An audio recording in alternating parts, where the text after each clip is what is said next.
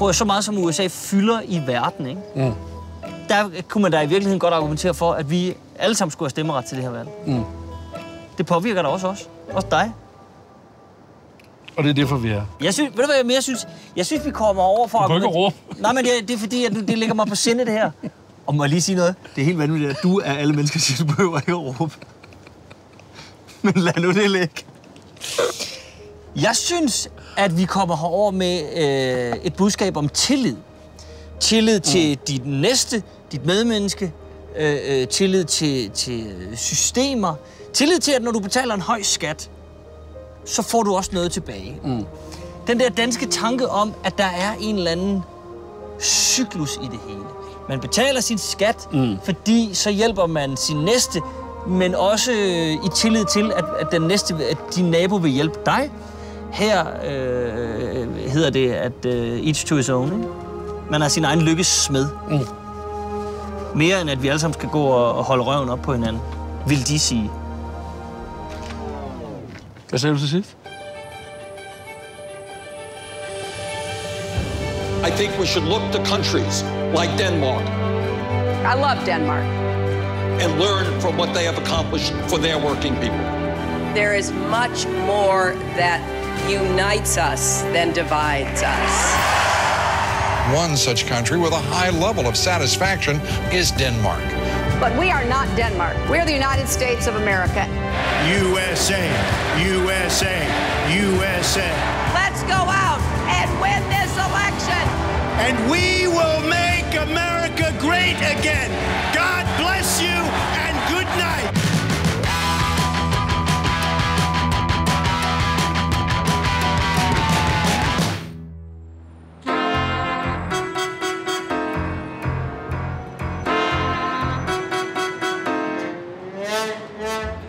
Tænk, vi er blevet nævnt. Danmark. Os. Vores samfund er blevet fremhævet i verdens eneste supermagt. Gratis uddannelse, sygehuse, grøn energi, ja ja, høj skat, men også en overvejende grad af lykke og tillid til hinanden. Vi er et forrøgangsland. Skulle vi ikke være stolte af det? Selvfølgelig.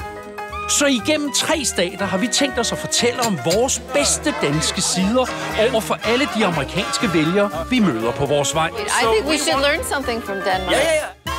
Vi starter her i USA's sydvestlige hjørne, i svingstaten Nevada, hvor vi skal til et meget, meget lokalt vælgermøde. Det her, det er Roseanne Rabiola Mealy. Og hun skal fortælle os noget om fundraising, og hvordan man samler penge ind i en amerikansk valgkamp.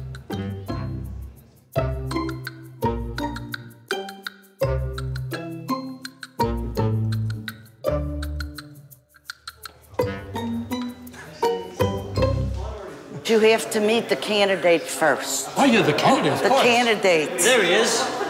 Craig Jordan.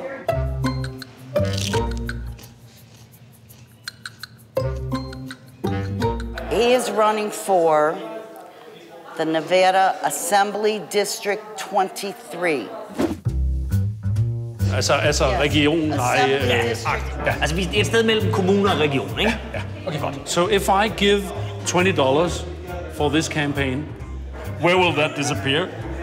Uh, signs. We had to pay for the food. We had to pay for the room. Okay, okay. You know that kind of thing. Give us your sales pitch. Well, first of all, I'm Norwegian, so uh, I hope that, hope that Really? Well, don't the- sound that- here's the dollars. Do you have like a, a slogan or a, a song? no slogan? May I suggest Craig, Craig, the political earthquake? Why are you... sh- Hvorfor råber du så Det måske skal det være en sang. What do you do for a living? Comedian, singer-songwriter, you know. Goofy. Did you like the song? radio host. He's an idiot, basically. Yeah. For a living, he's an Basically, idiot. yeah. We, we need to get you a stable job. Oh, please. Jeg synes, Munch, sådan, jeg vil munch. ikke have alt det gode mad, det går til spil. Oh, there's all kinds of good stuff. But let me ask you this, because in Denmark, uh, money and politics are, are rarely as intertwined as in America. The state gives uh, an almost equal amount to, to the different parties depending on size and such and such. The states, it doesn't work I know. I know, but Yeah. th- this is perhaps a Danish value that we would like to present I to would you. love that. Money out of politics. Hvad du siger, at, at staten giver penge til Jamen, der er noget, jamen, der er også noget partistøtte, som er fordelt på en helt anden måde, end det hele det her donorshow. I Danmark får et parti, der har deltaget i det sidste folketingsvalg, tilskud til partiets politiske arbejde. Tilskuddet udgør 30 kroner og 75 øre for hver stemme, partiet har fået ved valg. For eksempel fik Liberal Alliance 265.129 stemmer, som udløste 8.086.434 kroner og 50 øre i partistøtte sidste år. Så er der selvfølgelig en masse organisationer som LO og Dansk Industri, der også giver penge. Men lad nu det ligge. Men jeg siger bare, der er mange færre penge i politik Ja, ja, ja, i, i ja, ja, Danmark, end- og det er det, jeg prøver at sælge til dem. Nå, I'm sorry, I just have to repeat everything for him. Okay, sorry. Hvad var du ved at sige? Jeg vil bare spørge, hvor mange du har spist. Can, De you smager eat something? Men du skal ikke spise dem alle sammen, det er jo en fundraiser, der kommer nogen, jeg men noget der er for så mange, der er med. He could eat all of them, sure. Men det vil sige, altså nu har jeg givet ham 20 dollar, ikke? Altså, Ja, 20 og, dollar. og jeg har talt, du har spist for 58 dollars. Spist 58 dollar. Jeg men, det, men det samler jo, altså, medmindre der har været virkelig mange mennesker tidligere på dagen, så samler det jo, altså, Nej, det her, det tror jeg har været en underskudsforretning. Skal du op på 60 dollar?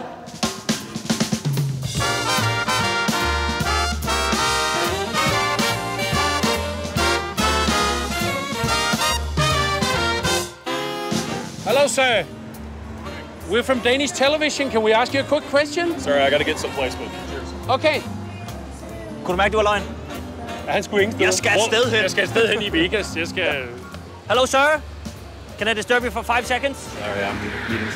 Okay. Nå, han skulle mødes med ham den anden. Nå, for helvede. Det, der er problemet ved at være herovre, ikke? Ja. det er, der er ingen, der kender os. Så det, de ser, det er, det er, hvad man også burde se i Danmark. Bare to idioter, I, der går rundt i lidt for i skjorter.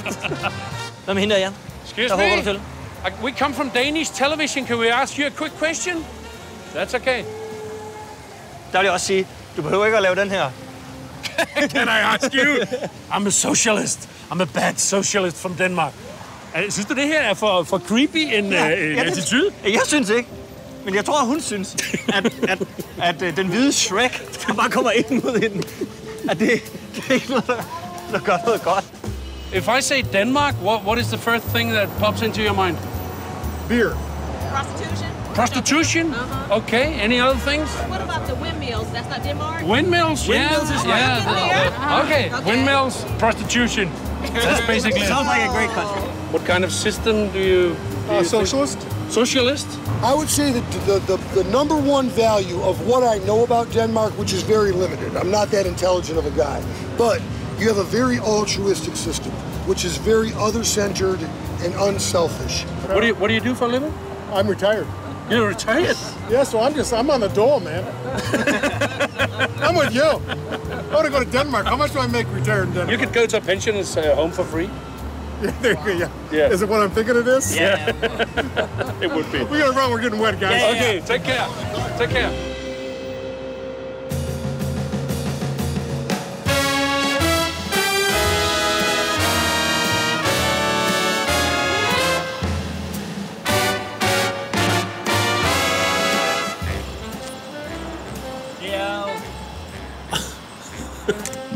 Kæft, hvor er det mærkeligt, det her. Ja, prøv at der er jo kun grimme steder her. Prøv lige at sige noget. Noget, noget. Nu har vi ligesom besluttet os for, at vi vil lave sådan noget efter. Lidt, lidt efterrationalisering på, hvad vi har, hvad vi har oplevet. Vi drikker vand. Ja. Vi er danskere. Vi efterrationaliserer. Det er en del af den danske kultur. Ja. Det er evaluering. Gud, USA er et fantastisk land, hvis du er en go-getter, og hvis du er sund og rask. Men hvis du, hvis du har en skavank, eller hvis du ikke er helt skarp og alt muligt, så er det med også nemt at falde igennem i USA. Mm. Og svært at komme op igen, ikke? Jamen, det er umuligt at komme op igen så. Og det er der sikkert også mange derhjemme, der vil sige. Der er jo masser af problemer derhjemme. Ikke? Men igen, i den store sammenhæng, så har vi det sgu nok meget godt, ikke? Det har vi jo. Det har vi. Vi har det jo meget godt. Det har vi sgu da. Vi har det sgu da meget godt. Og her kommer Peter Belli. Hvad end der sker, vi er væk fra vores kvarter.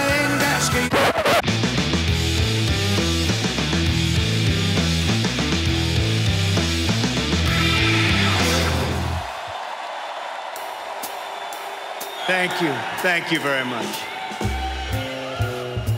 I USA er der et overflødighedshorn af kendte og ukendte folk, der meget aktivt støtter hver sin præsidentkandidat. For eksempel bliver Donald Trump støttet af Hulk Hogan og Chuck Norris, sammen med Hindus og Asians for Trump. Og så er der jo alle dem, der støtter Hillary.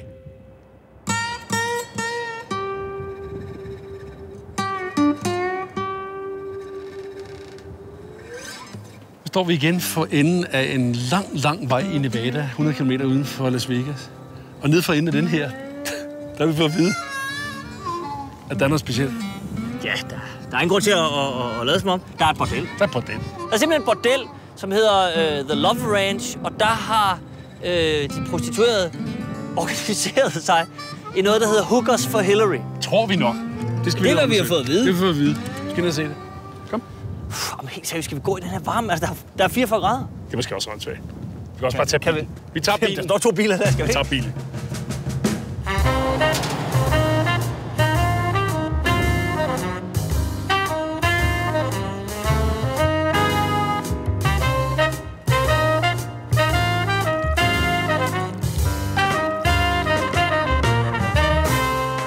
Jeg siger lige ud, jeg havde ikke regnet med, at der ville holde to cykler. Skal man ringe på? Skal man ringe på? Skal man... Please ring the bell.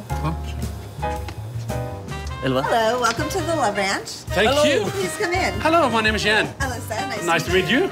Hello, my name is Huxi. Nice to meet you. I'm Dennis. Welcome to the Love My name is Ranch. I'm Jan. Nice to meet you. You know, you must be good men because you made it to heaven. This is it. This is it. This is heaven. It doesn't get any better. Should we say hi to the girls? Say hi to the Hello. girls. Come on. Hello, I'm Jan. Nice to meet you. Hello, Huxi. London. London. Hello. Hookers for Hillary. It sounds funny, but it's very real.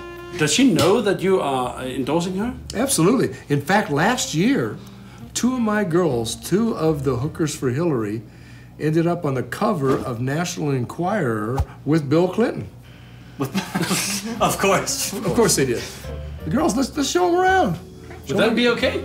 Just so we, you know, it's good to walk and talk. Now, now look it. If you decide, you get to the room, and you start getting a little, a little chubby, you know, you start getting excited. Just turn off the cameras and, and do what you need to do with the girls, okay? Okay. Because if you leave here horny, sober, or hungry, it's on you. Ej, din sokker for helvede. Øh, kæft, hvor er det et kedeligt billede. Hookers for Hillary. Kæft, det er, hvor vi kommer ind ad døren, og han så sidder Ja, ja. i læderstolen og venter. Jeg fik et chok. Ja, ja det var meget mærkeligt. Der er også sådan en høflighedsting. Nej, man vil, ikke Ja, ja. sige, man vil ikke sige til den pæne mand, at han behandler nogle, nogle damer helt vanvittigt, og han behandler dem som, som kvæg, og sidder der. Altså, det, ej, det kan man ikke sige til manden. Men det, Men det burde man jo have sagt til manden. You know, one of you guys might be interested in the bondage cage. I don't know. That'll be him. That'll be too? him. That'll be him. Look at that beard. Look at that beard. Have fun. I'll see you when you get back. Absolutely. Show them around, Perfect. girls. Let's have some fun. This is a group tour. This is a group tour. Kæft, det er, jeg kan lige sige, det er gang, jeg er blevet vist rundt på et bordel. And then down here is that dungeon that you want to be in so bad. Det er dig, der spiller, stiller spørgsmålene nu. Nu kan jeg lige skal det. Jeg, jeg, jeg oplever bare. Jan her, det er jo her, man har optaget X-Factor, og det vil jeg bare sige, at det er gået rigtig godt. Det er en stor succes. I'm, I'm much more interested in this. Is this do, do you have a do you have a brainstorm sort of thing? This is from um, animal parties that a girl offered. Pretending Role play. an So who is pretending? You or the woman or Both would have to pretend. that they're some kind of animal? Yes. I'll be the ostrich, and you'll be and you'll be the the, the raccoon. The raccoon and the ostrich. Okay. But but how long hours do you do? I mean, you're here from like Monday to Friday, and then you take the next week, or So I am from Kansas City, Missouri. I fly in and stay anywhere from two to four weeks at a time. Um, nonstop. nonstop. Okay. And when I am here nonstop, we work 24 hours a day. Whoa. Whoa. 24 hours a day, every day, for four weeks. Yes. That's insane. It That's is something you should take up with your union. I Danmark har vi lovfastsatte regler omkring arbejdstid. Man har for det første krav på hvile i 11 timer inden for døgnets 24 timer. For det andet har man krav på et ugentligt fridøgn, hvor man altså holder fri. Og for det tredje må man over en periode på 4 måneder højst arbejde 48 timer i gennemsnit per uge. Det er det, vi meget mundret kalder 48 timers reglen. Så enkelt og dansk kan det gøres. It- it- uh, You're in the, the Hookers for Hillary uh, yes, participation? definitely. Oh, yeah. Do men get turned on by political debate with a woman? Yes. I think that people are actually very intrigued with the fact that us as women in this Hookers for Hillary environ are well adjust on it and we know what we like and do not like in the political world. Somebody came in here and wanted to talk politics right off the bat, and that's what we got into. Then Mm. I would go ahead and bite back with that, and I'd Oh. say if you're a Trump supporter, then unfortunately you'd be charged double. You would enjoy that. I mean, this is the, the, the, The punishment. This is the punishment. Punishment. If he's in this room, I suppose. Sure. All right.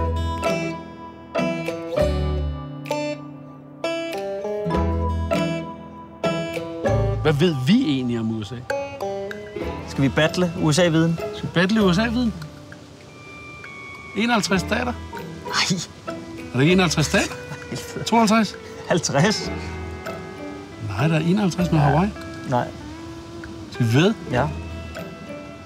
Hvad skal vi ved? Jamen, vi, tidligere ved vi 1000 grise, og dem har jeg ikke fået endnu. Der er 50 stater. Jeg siger 51 med Hawaii. Uafhængighedserklæringen, hvornår blev den skrevet så? Vi skal jo snakke politik. Åh, oh, for helvede. 1776? Korrekt. Hvem skrev den? Ellehammer. Ej, jeg, pas, hvad fanden hedder han? Jefferson. Jefferson, ja. Det er ham, der sidder i Washington, ikke? I, øh, øh, i stolen der imellem søjlerne. Nej, det det, er- det er Lincoln. det er Lincoln. Der. Ja. Hvor ved du så meget fra om øh, USA? Jeg, har det, ja, jeg tager da ikke nogen steder hen, uden at læse op på det. Har du læst, inden vi kom herover? Det har jeg. det sagde du sgu da ikke, når vi skulle.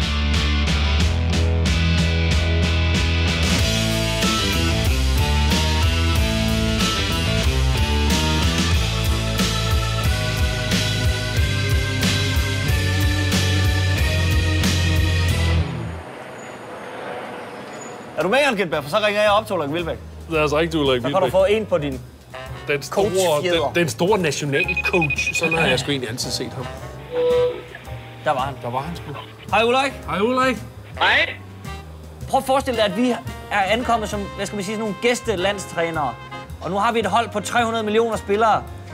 Og vi kan ikke rigtig få overbevist dem om, at de ikke kun skal spille angreb. Hmm. Altså, bare, bare det her med, at øh, de kan finde på faktisk at, at opstille den ene af de to præsidentkandidater, de har, det giver mig da visse fordomme, vil jeg sige. Mener du, at de har opstillet en kvinde? Det er helt forfærdeligt. Jeg, jeg mener, at, at, øh, at det går rigtig meget ud på at snakke hinanden ned øh, og være skeptisk over for hinanden. Og noget af det, vi er kendt for i Danmark, det er jo at være tillidsfuld over for hinanden. Det handler jo et eller andet sted om, at det der, vi også plejer at sige på et, et sportshold, at, øh, at øh, det er det svageste led, der afgør, øh, om vi kan vinde. Weakest, uh, weakest Og, chain. og det, det, det kunne vi jo godt udfordre dem på, at, øh, at, at det svageste led øh, i det amerikanske samfund, det er, det er ikke ret stærkt. Og hvis de oplever taberne som nogen, der bare ikke har kunne klare sig, så kunne man måske udfordre dem på, om de kunne skabe vindere hele vejen rundt i deres samfund. I stedet for, at halvdelen skal være vindere, og halvdelen skal være tabere, for så kan samfundet jo trods alt ikke være helt optimalt. Tak, Ulrik. Det var godt at høre fra dig. Det er super. Ha' det godt. Det er godt, jo, tak.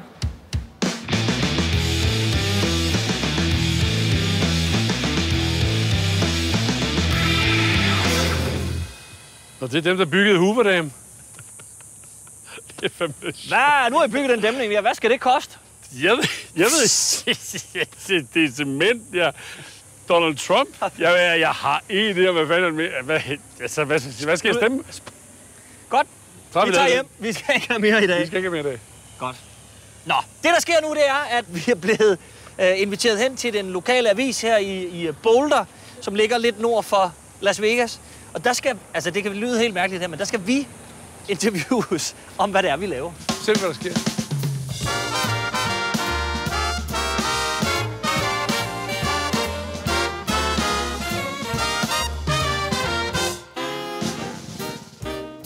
What would be the thing that you would think that Americans need to know about the Danish people?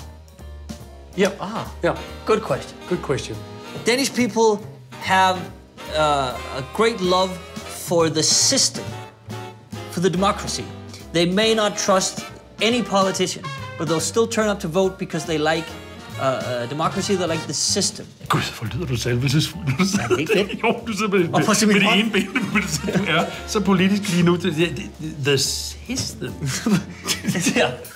He's just mocking me. You, you So- said you wanted to help share your culture and Yeah. that is. That's so, a good so what question. is what is what is the one, thing, if we only had one thing Yeah. to impose on the American people? Det er fandme Yeah, godt spørgsmål. it is. Den ene ting, hvis vi kun havde én ting. Jamen, jeg forstod det godt, da hun sagde det på engelsk. Jo, jo, men nu gentager jeg det bare lige for at... Uh, den ene ting. Må vi lige... Can we conference? Aren't you already? Yes, we, I'm we sorry. are. Yes, we are. We, we, we Yes, are conferencing. Øhm, Jeg vil sige tillid igen. tillid, synes jeg også er... Ja, det synes jeg er, en er ting. en, en, en bærende ting i det danske samfund. Men er det sådan noget, Battle Hårder altid vil sige? Tillid, tillid, tillid. Nå, men det, Men det er tillid på mange. Det er tillid til, at systemet fungerer. Når Præcis. selv skal det det. Tillid til hinanden. Tillid til hinanden. Tillid til, at man kan sætte et Så lille glas med marmelade ud i, i, i, i, på sådan en hylde, og så står der... Og så 40 kroner for det. Ja, ja, ja. Men man stoler på, at folk lægger 40 kroner og kører væk med noget syltetøj, og ikke bare kører væk med dåsen og syltetøj. Hyldeblomsyld, som man kommer Præcis. hjem med, og man overgår ikke at køre Men tilbage. det er, det er et tillidssamfund, hvor det kan lade sig gøre. Ja. So that we say, we say trust. Ja. We come here with trust. And that's our final answer. Yes. Hans Pilgaard. Vi har ikke... Det er det, vi siger nu. Vi siger tillid.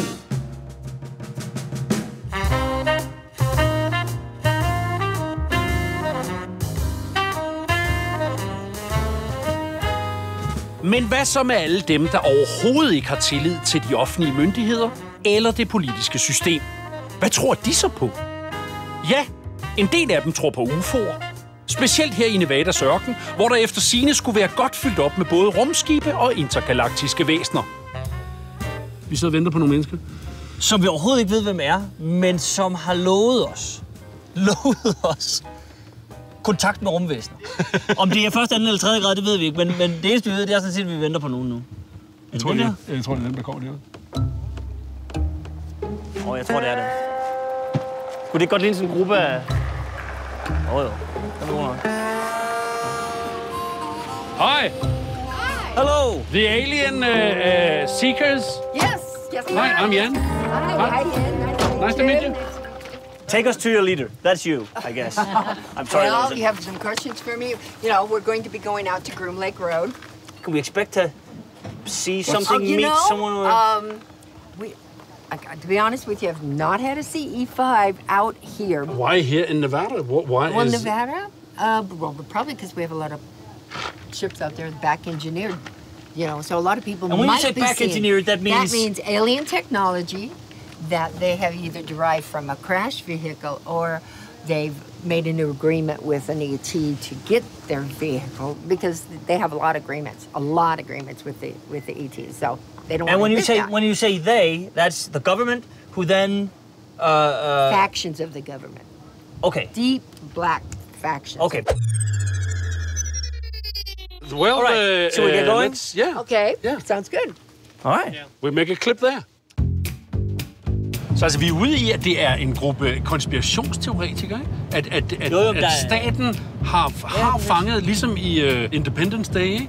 hvor det så så viser sig, at staten i mange år har haft det der rumskib, Ja, ja, ja. og hvorfor Ja. der ingen, der har fået noget at vide, og alt sådan noget der. Og at de har en aftale med dem. Altså også indgået en aftale med, Med, med IT'erne. Og der er det så bare, jeg siger.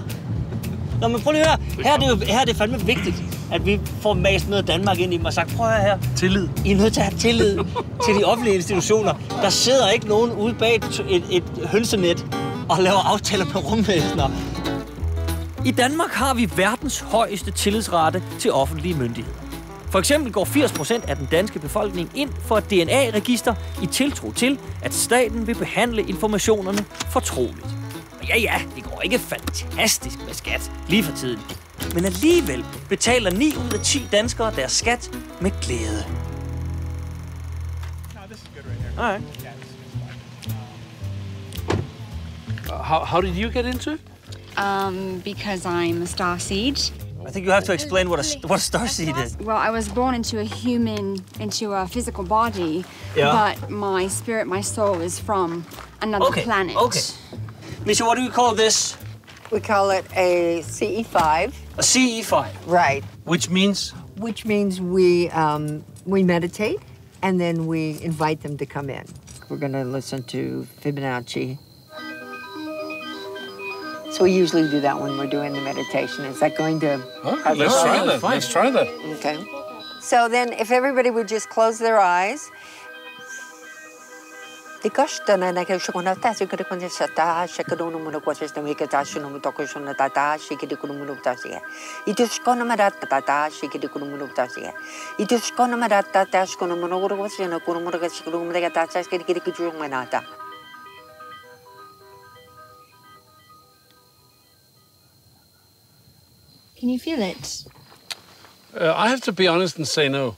And, and part of me, uh, I have to say that that the, the sound, that music, The music, yes. yeah, Fibonacci. that, that Mhm. you have to get used to that. I say Uh-huh. Does that bother you? a little. You did it. Oh, yeah, okay. Because I have a ringing ringtone from my wife that's pretty similar. Similar to it? Oh, Yeah. okay, okay. So you've been abducted. Yes. From what bracelet? I understand, it was to install a uh, chip in my wrist or a some kind of tracking device. Okay. But that means that you still have some sort of chip in your arm, right? I may. Have you had it checked? I have not had it checked.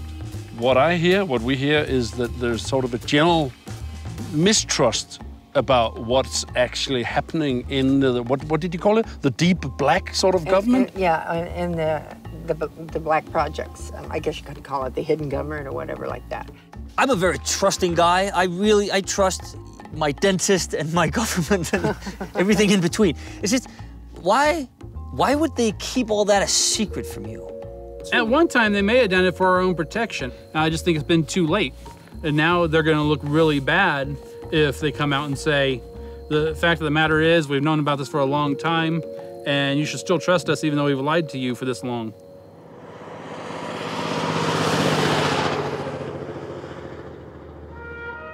Altså, de vil jo sige, at vi har en blind til, Ja, ja, til ja, vores ja, system. men det er også rigtigt nok. Men derfor så tror jeg også bare, at vores budskab til dem er, at de skal bare have lidt mere. Lidt mere af det hele.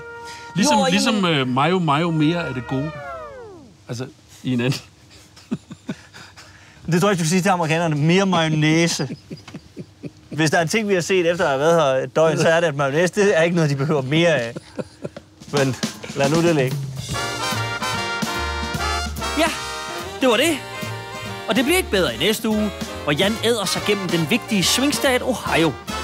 Her tager vi også på republikansk dyreskue, møder en bøsse, der elsker bøsser, og så får vi hjælp af en helt flok cheerleaders i vores forsøg på at overbevise amerikanerne om de danske værdier.